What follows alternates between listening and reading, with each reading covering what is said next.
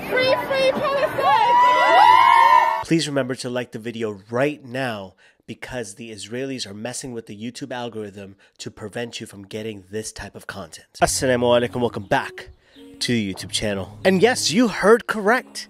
British Metropolitan Officer is under investigation for what? For what you might ask?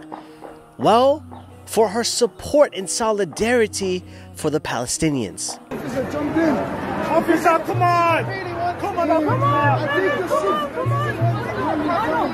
So as you can see, the officer is actually trying so hard to not join, even though she's being encouraged by all of the protesters.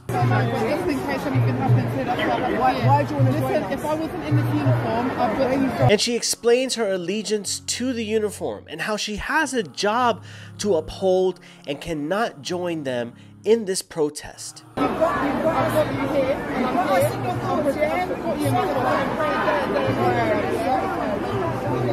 And she expresses her solidarity by saying, You're in my prayers.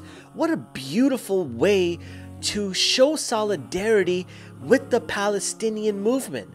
How is this any different from when officers were given permission to kneel on a knee during the Black Lives Matter protest?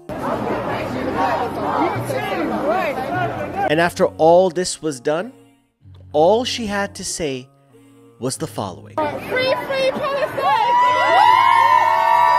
The Metropolitan Police released a statement explaining how the police is encouraged to be kind to the civilians, but not to engage in their political affiliations. And because of that reason, this British police officer is now under investigation. But do you know what's not under investigation? This, this, or even this. Now it all makes sense as to why I go to a Black Lives Matter protest or a Palestinian protest and I don't see the officers being one with us, supporting our causes. How can they? I mean, literally, their livelihood is in jeopardy if they decided to show support and solidarity with any one of our causes. Also, guys, huge shout out to my partners, Quranly, for supporting this type of pro Palestinian content.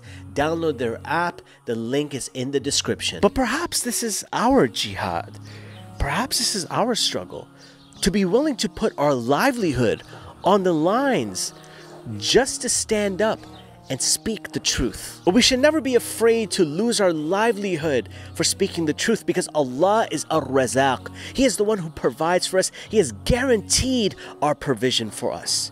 Meanwhile, the shaitan scares us with the idea of us losing our property and terrifying us with the thought of poverty. But this makes me wonder how many other officers and people of the law would like to speak the truth, but they just can't do it because they're afraid of losing their jobs. So perhaps there's IDF members currently right now and law enforcement officers who are doing the wrong thing and they feel it in their hearts.